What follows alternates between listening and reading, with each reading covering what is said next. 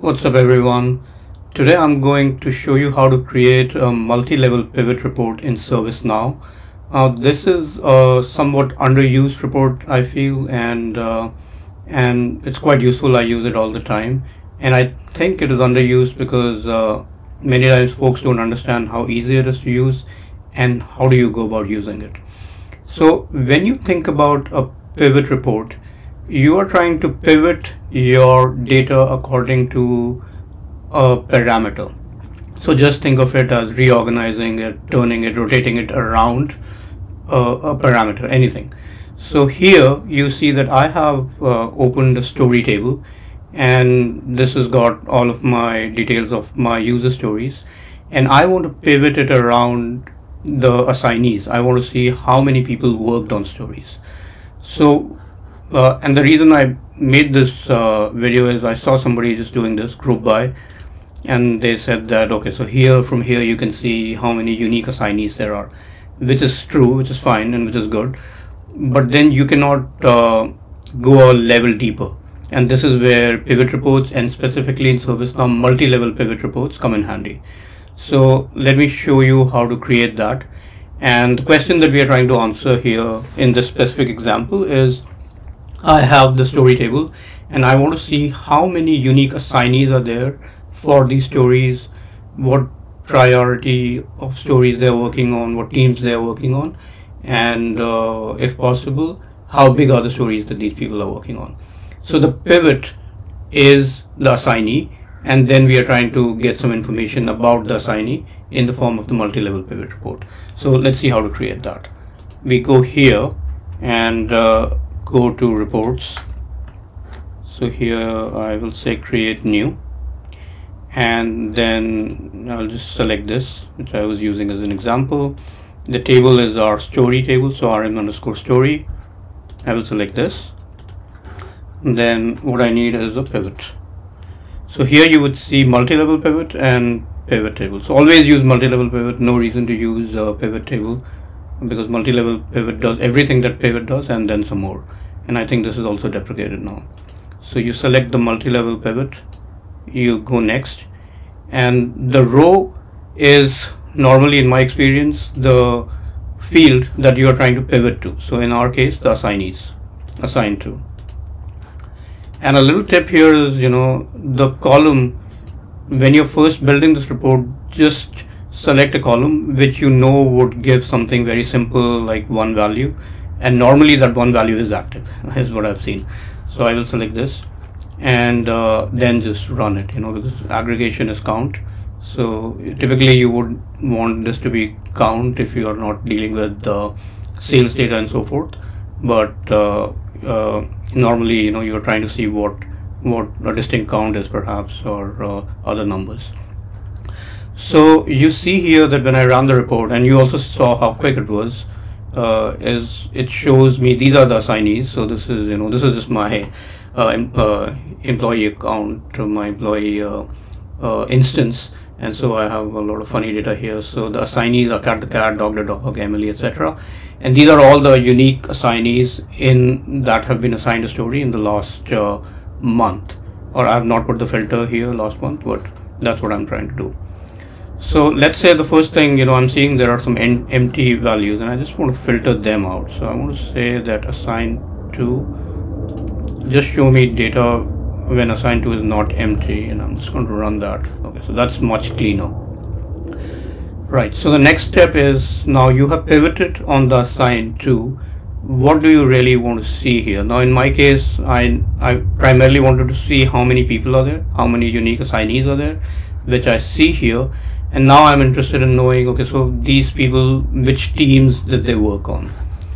So teams could I can visualize that could come here as a column. And uh, really team what this is is in my instance at least it is assignment group. And uh, I would imagine that for a lot of you as well you know team would be an assignment group. So let's say I select here and you just click on run. And there you go you know it shows you these are the two teams that I have Bonsai now and now Gambit and it shows that the cat the cat worked on two stories for bonsai now and 45 for now gambit so you pivoted on the really assigned to field and then you're getting information on uh, the teams assigned to here, uh, the assignment groups, I'm sorry, and then what whatever else you need. So the other thing now I'm looking at this and I think what I'm interested in is is knowing how what priority of stories that these uh, folks worked on. So you can just select a column called priority here and then see how that uh, shows up in your report. So I'll say priority, bring this up and then just hit run. This is all very quick. I mean, this is of course an employee instance, not much data, but even when I'm working, you know, with large amounts of data, I've typically not seen this report take a lot of time. So that's a good thing about it. So here now what it did is, uh, now let me show you this. Select column assignment group is the first level of pivot. Priority is the second level of pivot. So this is your assignment group, which is your first level of pivot. And then priority, critical, low, high, etc., high, moderate, etc. This is your second level of pivot. So it comes under your uh, assignment group. So here you can see Cat the Cat worked on two critical stories for the Bonsai Now team, three critical stories for the Now Gambit team, and so forth. So if this is what you are interested in, this is how you can reorient the data, pivot the data. Now let's say looking at this, you also want to know, okay, so two critical stories, how big were they? And maybe I add a column which says size, which is uh, probably points for all of us. And I run here now this I feel is not readable. I mean this is okay till two levels it's fine but when you add points here it's kind of not readable. So this is where I, I suggest that you do a little bit of uh, hidden trial because you see it's very simple to do this it's very quick. So I remove pivot and I let's see what happens if I uh, if I add the points to the uh, rows and so let's do that and see how it uh, how it goes. So I run it again and now it's showing that uh, uh, you know what this does is it always gives you an option to uh, have a drop down here or collapse collapse these values on the rows. And you can just you know collapse them all and expand them all as you like. And uh, this option appears when you select two levels or two or more on the rows. So here you can see that when I expand this cat the cat it shows that uh, this fellow worked on these many points of stories which were at this priority level for this team and this team. So this is the kind of uh, answer that I was looking for when I was looking at that table and uh, this is what multi-level pivot does for you.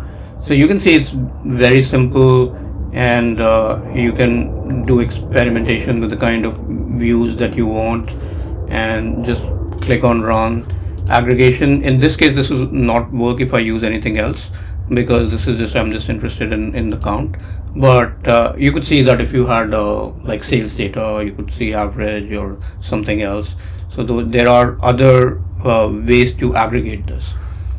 Now this is a, a report that I don't see being used very often but is very useful very easy to create and then also very easy to manipulate. You know once you get this thing in your head that a multi-level pivot is you have a big table and you're pivoting it or you're rotating it, you're turning it ar- around a particular parameter and then seeing some values around that parameter. That's what it is. And you do that, you do a little bit of experimentation in in ServiceNow with this, and uh, and then you get a result, which is actually quite good. Now I would say that you know comparing this with Excel, Excel actually has the pivot uh, feature and and very powerful. In some areas, I would say that uh, this is better. In some areas, that is better. But my habit used to be I would download a whole uh, ServiceNow table in Excel and then run pivots on that. I was just more comfortable in that.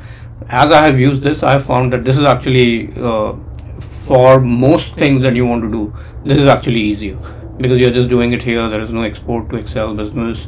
You can very quickly uh, add columns, remove columns, and then save it and share it. So that's one tip for you that if you are the kind of person who's uh, who's like me is just you know let's just export everything to excel and then we'll run some pivots there you may want to give this a shot and i think you will be surprised at how easy it is and how intuitive it is once you start building this So that's all for today.